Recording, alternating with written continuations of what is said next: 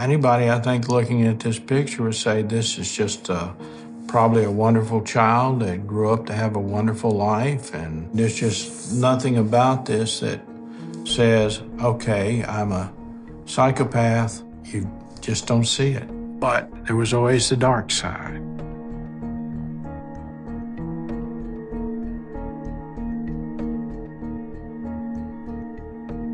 You got your first child and you have such high hopes. It just seemed like he was not your typical little boy.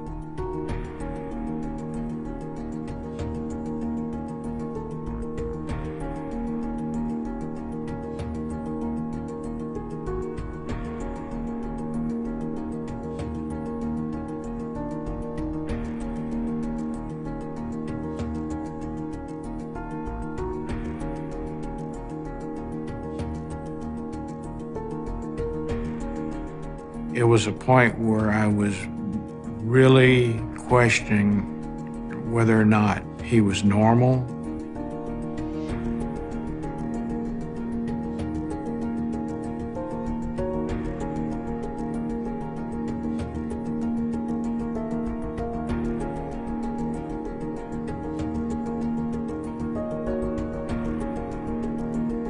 You try to guide them the right way, teach them right from wrong. But in the case of Aaron, that never seemed to have any effect.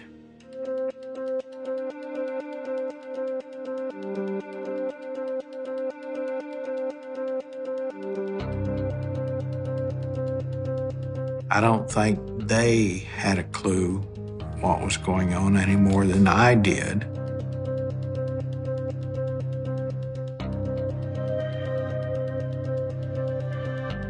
If he's this bad at this age, what is it going to be like when he reaches adulthood? Where is this going to end?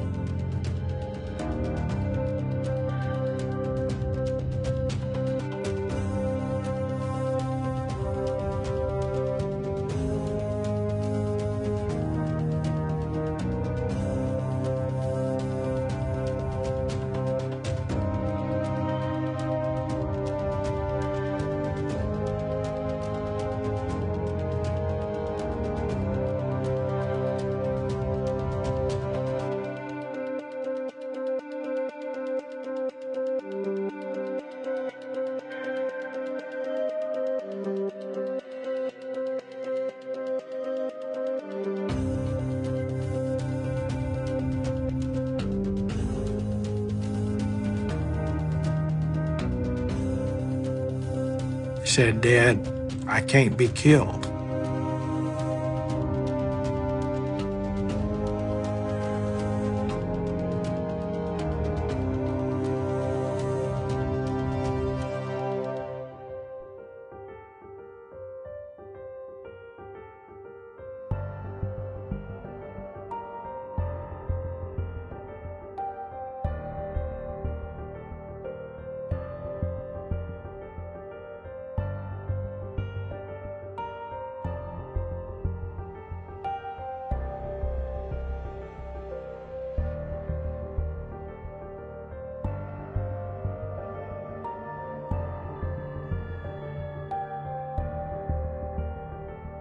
Why did you decide to kill Mr. Ward? Well, there's a few reasons, but the basic reasons because I wanted to. He had a stuck-up, snobby attitude, uh, and I was just at that point. I just didn't care. Something to do. I grabbed uh, David Ward in a chokehold, and uh, you know, choked him. and why'd you choke him? Killed him.